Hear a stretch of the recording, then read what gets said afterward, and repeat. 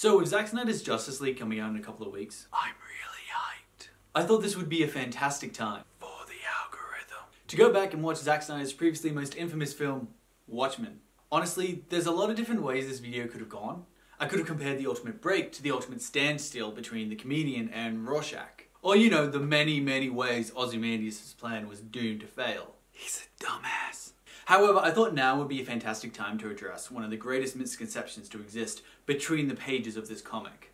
See this guy, this beautiful blue son of a bitch right here? Can't see the future.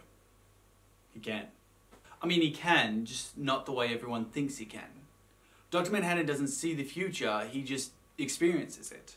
Us people perceive time as a linear construct. Last week I saw a sign for cheap self-serve Chinese. Last night I found out they did $5 Thursdays. Tonight I'm enjoying a sweet, succulent Chinese meal. And tomorrow I'm going to be praying to a god I don't believe in to get me off a porcelain seat. It's a joke. By the way, shout out Megatron Bathurst. We experience time in a linear fashion. So we force this perspective onto others without considering the alternative. Compared to how we experience time, yes, Dr. Manhattan can see the future.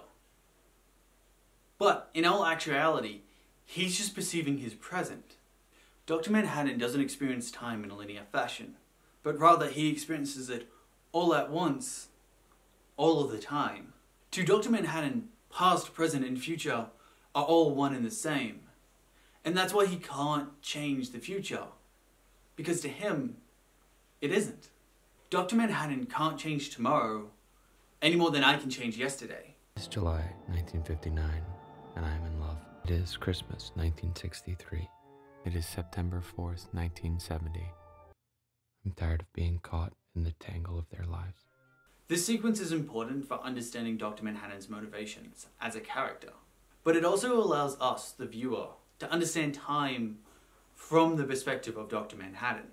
Language is really important in this sequence. It's July 1959, and I am in love. It is Christmas 1963. It is September 4th, 1970.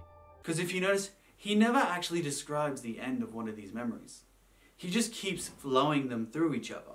And he also never uses past tense. He keeps saying the is opposed to the year was. I'm lying to her, not I lied to her. He's not remembering these events. He's experiencing them. All at once, all of the time. I feel this is a greater metaphor for most superhero arcs in general. Marvel's third Spider-Man film hasn't even begun filming yet, but I'm pretty sure I can already tell you how it's gonna end. You'll be fine. You might be in trouble. but you'll be fine. Saying there's predictability in our media isn't exactly a hot take. So what's the point of it all? This is a pretty big spoiler for Watchmen. So you know. Spoiler warning. Towards the latter end of the movie, Laurie goes to Dr. Manhattan to ask him to save the world. Now, before the conversation even begins, he tells her exactly how it's going to end. It ends with you in tears. Tears. But they continue anyway. Now, I could go through this step by step, but much like the conversation, there isn't really a point. Dr. Manhattan doesn't decide to save the Earth until Laurie finds out that her father is the comedian and breaks down crying.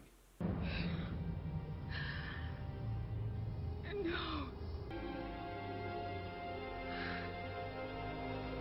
Will you smile? If I admit I was wrong. And that's the point. If I dared attach a greater metaphor to how Dr. Manhattan experiences time, I would call him the viewer. Like Dr. Manhattan, the majority of us already know how this story is going to end, and most of us have already seen it. And we can't change the story any more than he can. And like Dr. Manhattan, when the story's over, we get to just leave. We don't love people just to lose them. We don't live just to die. And we don't open a book just to close it. Dr. Manhattan already knew how the conversation was going to end. He already knew the comedian was Laurie's father, and that she was going to cry. But knowing doesn't impact him. Experiencing does. To experience the story, to experience the emotions, and to bear witness to arcs complete.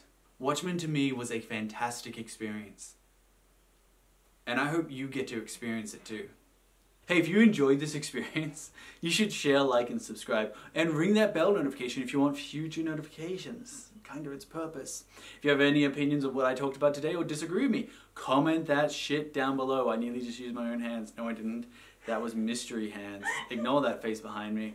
If you have any opinion on Watchmen, comment that shit down below. Otherwise, I hope you have a fantastic day and a wonderful time. All that stuff, yeah.